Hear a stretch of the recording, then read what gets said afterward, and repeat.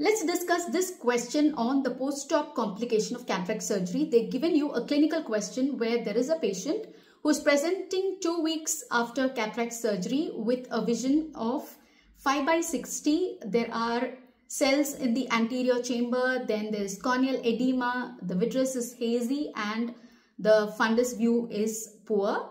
What is the diagnosis? And with or without organism. Now, first of all, look at the time frame, two weeks. So when they've given you two weeks, TAS is automatically ruled out because TAS presents within 12 to 48 hours after cataract surgery. So this is way beyond that window. So it is not TAS.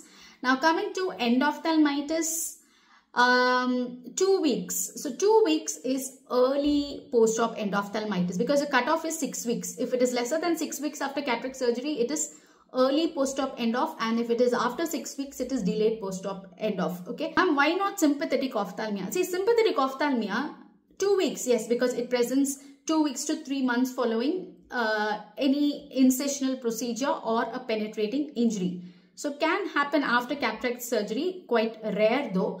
But again it is in the other eye not in the operated eye so that is ruled out. So the answer is early post-op endophthalmitis caused by staph epidermidis. Alright? See you in the next question.